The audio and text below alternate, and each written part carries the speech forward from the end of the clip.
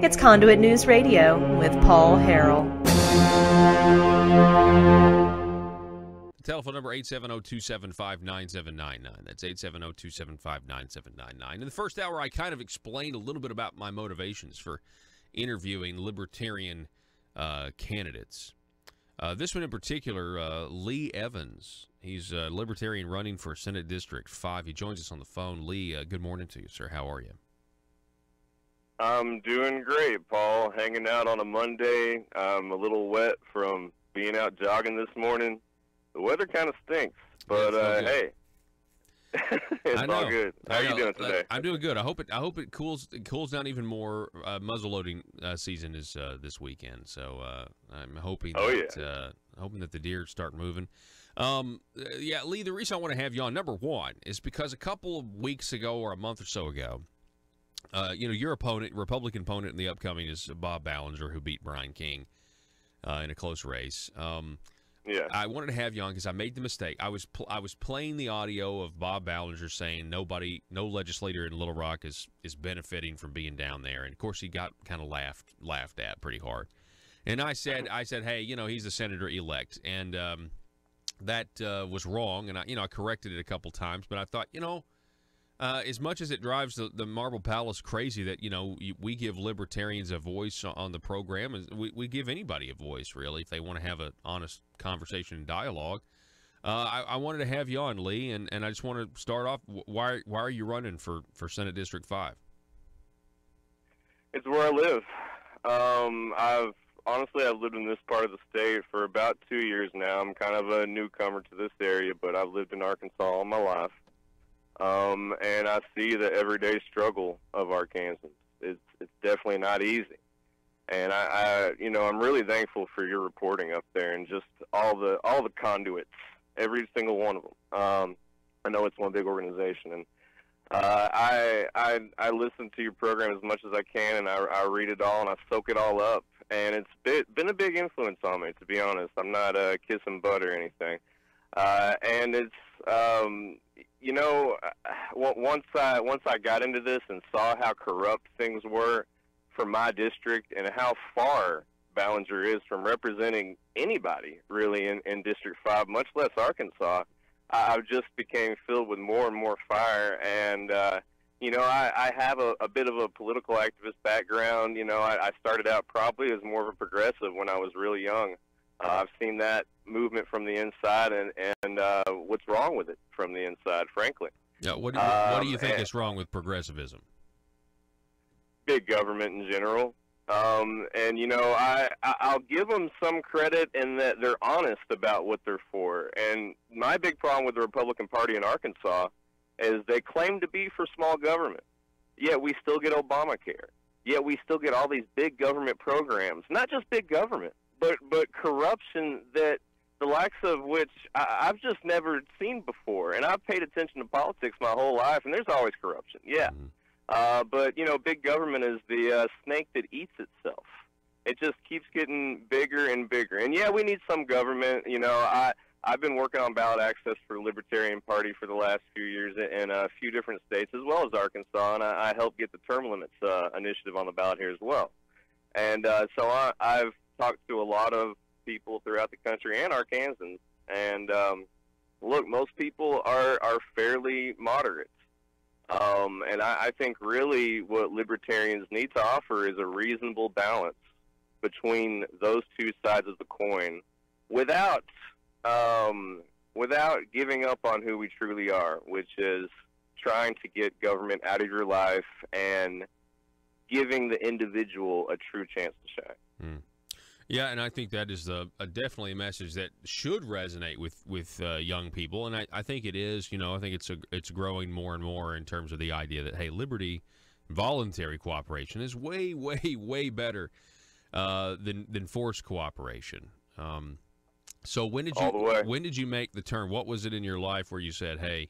This progressivism is not for me. I think uh, you know limited governments is better. Uh, it was the gun issue that really, really bothered me. Um, you know, I actually grew up in a kind of a, a Democrat home. I wouldn't say Democrat home. Let me rephrase that. You know, my my grandparents come from a from an age in Arkansas when everybody was a Democrat. Yep. You know, you, and I'm sure you know this. Th- This was Arkansas was all Democrat back then. You know, you talk about uh, Winthrop Rockefeller. Uh, my grandfather loved him, and last vote he voted was Obama before he died. And It- so, I and Isn't uh, it weird that. Rocke- isn't it weird that Rockefeller was a Republican and he comes here? We're all Democrats here in the state uh, back in the day, and like eighty percent Democrat, and yet somehow uh-huh. Winthrop Rockefeller comes in and he's like, uh, you know, he's a Republican, but everybody votes for him. I thought that was, I think that's such an anomaly in history. Well, it's it's really it is it is really interesting, and you know, uh, yeah. To get back to what I was saying, you know, um, I I- grew up in a household that I didn't really grow up around guns. Uh, my my uncle was actually shot at a young age and lost his sight.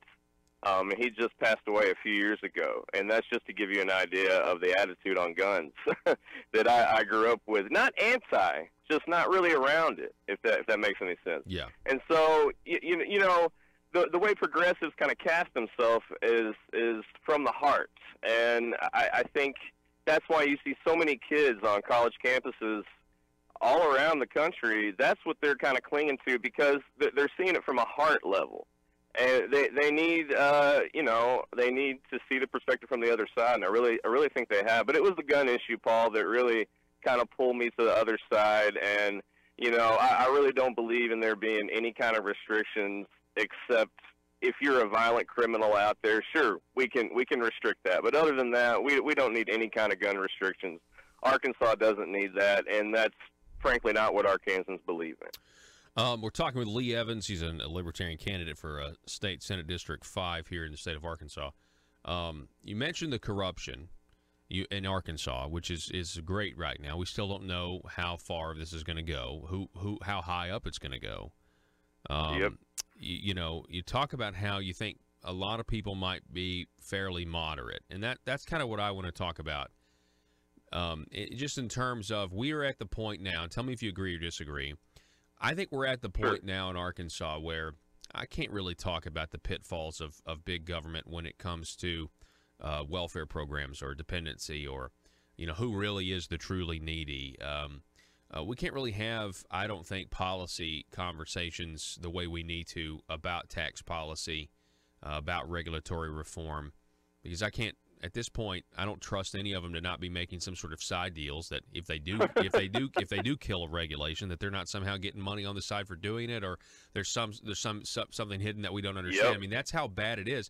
So, in, in, instead of being able to have these these debates about how we govern ourselves, right now, I think both Democrats, Republicans, Libertarians, Conservatives, Liberals, whatever you want to call them, we have to demand for honest government. And I- think in, in a lot of ways, um, that's what Trump is uh, is kind of exposing here.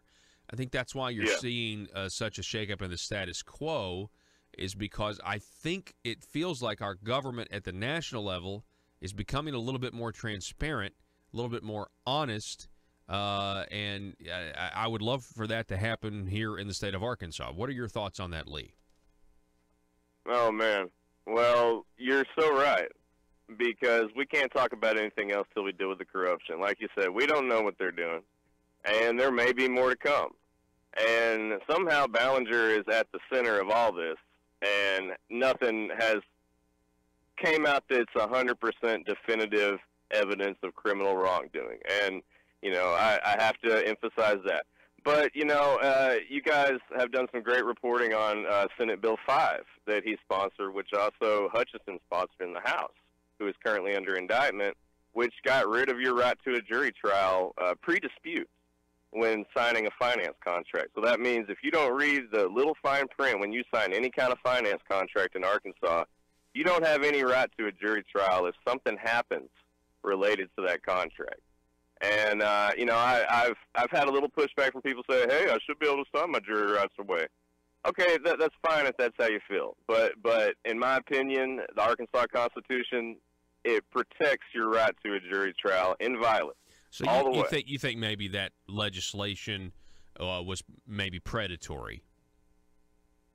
Oh yeah, oh yeah. Yeah, like it's- I, I think it's there for the nursing home industry. hmm Yeah, like it's preying. Well, you know, I think I know Jerry Cox uh, uh, you know, he he he uh, tried to stop them from being able to insert that into nursing home contracts. I think he successfully got them to take that out, but it's still stuck for the financial Oh. institutions.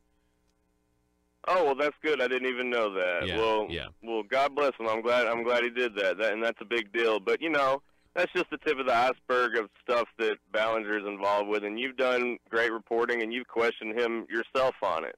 And uh, you know, I I don't even like to have to run this uh, kind of political campaign where I'm. It looks like I'm attacking or smearing somebody. I, I'm not. You know, it, it, this is these are verifiable sourced facts, not just from you. Yeah. Um, this is from a lot of different media organizations throughout Arkansas. well, you know, it can be it uh, can be a it can be an attack and not a smear. I would separate those two. I mean, I think Fair. I think you have to, uh, you know, I mean, everything's going to be, be be perceived based on, you know, who, who, who, what your perspective is. If you're the recipient, if you're, if you're not. Um, but yeah, the fact is, I mean, talk talk a little bit about this because we still really don't know what's going to happen uh, with uh, what we're going to find out with the Ecclesia College thing. You had all these legislators giving all of this money to Ecclesia College. You got three people behind bars as a result of that, and um, we we still don't know exactly what all that taxpayer money.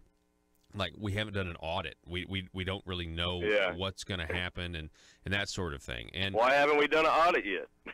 well, it's a yeah, it's a great question. I, I think there may be some movement to try to get some information at this point, but you know, it, it just doesn't just doesn't seem right. And the fact that you know all this was done. This is what's so sad to me, is that ecclesia is a Greek word for church. You know, this is this is a this is a Christian uh, institution that we're Yeah. having text messages about uh, whether or not uh, they need to use the you know, medical marijuana fund, which they thought would have been evil, but they're going to use evil for good, you know, and, and direct all that tax money to, to, to, to, you know, college. And I, I know as a libertarian, you know, the, you know, we can, we can talk about marijuana, but you know what I mean? It was just some really, it was like, uh, it was like the college itself was no different than the schemes that we read about in government, you know?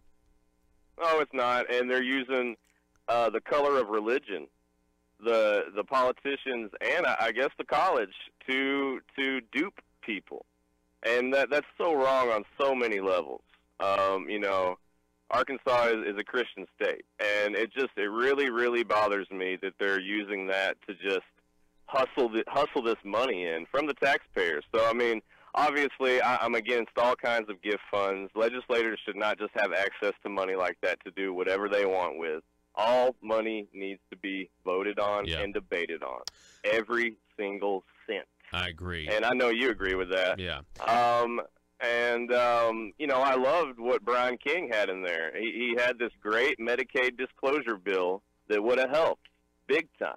Ballinger killed it at the last second.